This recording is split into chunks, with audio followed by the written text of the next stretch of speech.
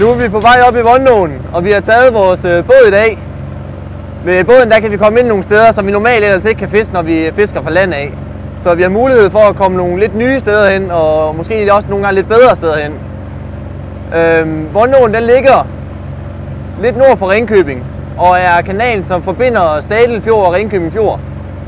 Der trækker en masse fisk op igennem her, f.eks. Øh, geder og arbor. I dag der er det arboren, vi er efter.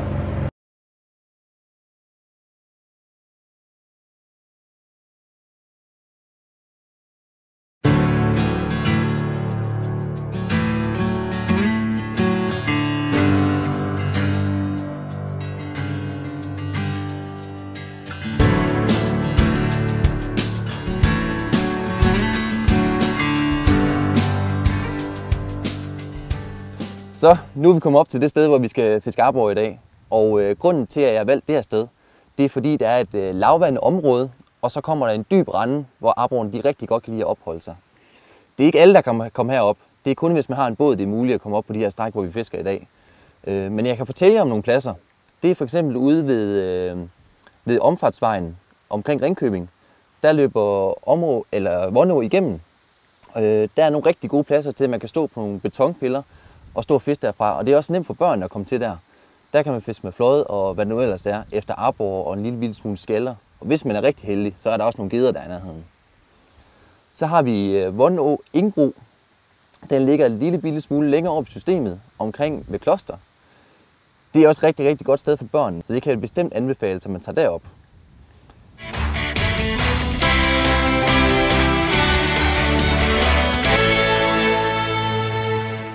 Arboren det bliver jo ikke en helt vildt stor fisk, så gradet det skal også passe til arborfiskeri.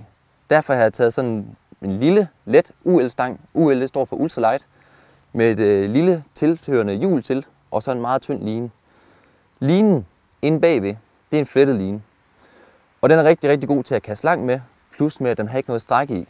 Det vil sige, når du fanger en fisk, så får du direkte kontakt til fisken, og faktisk på den måde fanger flere fisk.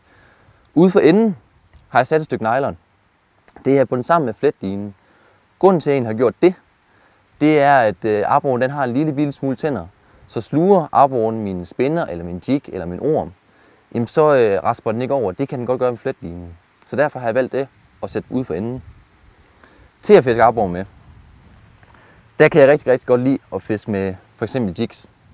Og fordelen med at have en jig, det er, at den kan komme helt ned på bunden, og det er oftest der, hvor arboren den er. Den har en lille gummihale, og den, når den går op og ned i vandet, så er den hammerlevende, og det kan arben rigtig, rigtig godt lide. En anden ting, som er super godt til arborfiskeri, det er små spinnere. Og øh, de her små spinnere, når de kommer ud i vandet, så roterer det her lille blad.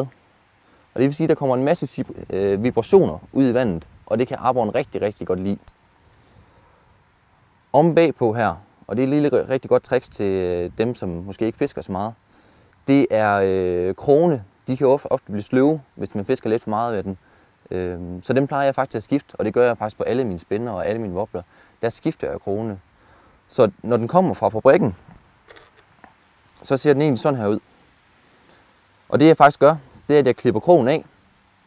Og så kan man se her på den anden, at der sidder en springring i. Og det vil faktisk sige, at jeg kan altid sætte en ny, frisk krog på. På den måde holder jeg altid min krog skarp, og så fanger man flere fisk. Og så enkelt er det faktisk. Rigtig godt trick. Den sidste ting, jeg gerne lige vil vise, det er små wobbler. Små wobbler, de imiterer små fisk. Og øh, når den kommer ned i vandet, så vrikker den sådan frem og tilbage. Og den kan jo også godt komme lidt ned i vandet. Man kan sige, ulempen med nogle af de her wobbler, man kan få til arborfiskeri, de skal ikke være særlig store. Øh, og det vil faktisk sige, at de, er, de har ikke en stor kastevægt så man kan ikke kaste langt med den, men de kan være rigtig, rigtig effektive at fiske med. Nu er det faktisk bare at komme ud og fiske.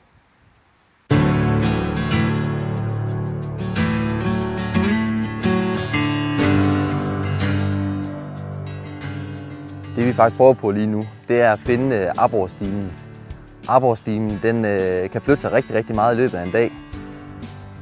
Mange gange kan det gå lang tid, før man øh, finder stimen. Men når man endelig har fundet den, så kan du fange rigtig, rigtig mange arbor næsten med alle dem, du overhovedet gider.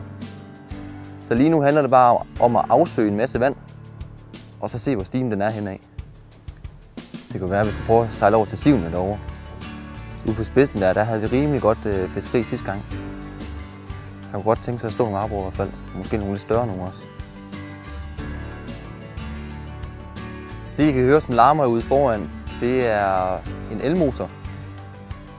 Og i den her elmotor, der sidder faktisk en GPS i. Og en fjernstyringsenhed. Så den her lille fjernbetjening, jeg har omkring halsen, der kan jeg styre om øh, hvilken retning den sejler, eller hvis jeg nu godt kunne tænke mig lidt på et øh, bestemt sted, så sætter jeg den til ankerfunktionen hernede, og så holder den sig der inden for cirka 5 meter. På den måde kan man nemt fiske en enkelt person fra den, uden man skal have en til at styre båden på samme tid.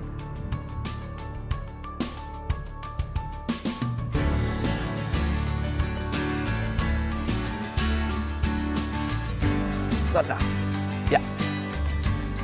Der var der en lille arbor. Den er ikke helt stor, men de kæmper rigtig, rigtig godt, dem her.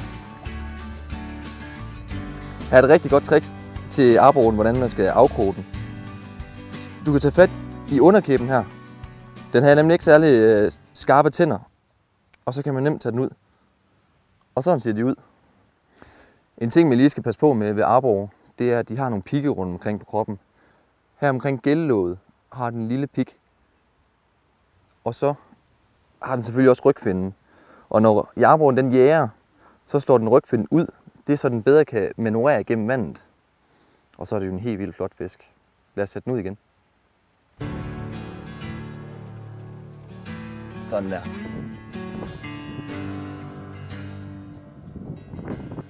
Sådan der, ja. Der var den. Så. Der er mange gode fisk ude lige nu.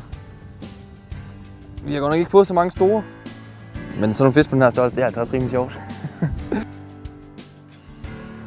det er også en lille en, det her. Men de kæmper nu meget godt på det her grej. Det er faktisk bare med at tilpasse dit fiskegrej